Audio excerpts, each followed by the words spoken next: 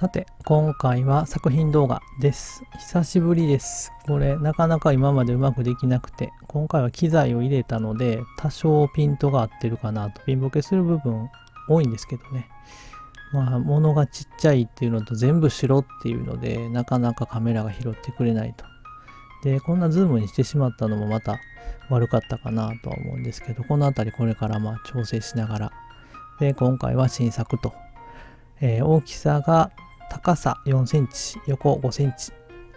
で、この鎖が5ミリぐらいかな。で、えーまあ時間かかりました。ちょっとなんかこういう新作というか新シリーズとしてね、紙のロボットを久々にまたやろうかなと思ってやってるんですけども、なかなかまだ苦戦しているところですね。インスタなりいろいろ始めたばっかりなんですけど、えー何かわからんということで、えー評価がもらえないと。まあ、あの押していこうっていうことで今回は動画。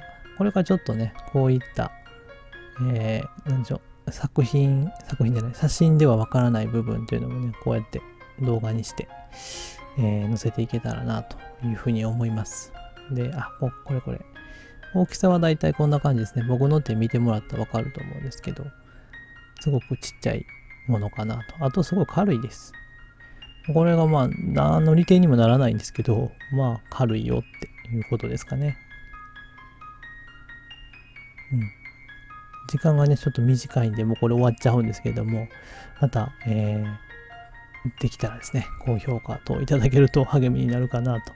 まあ、なくてもまた作るんですけども、ぜひ見ていただけたらなと思います。では、えーご視聴ありがとうございました。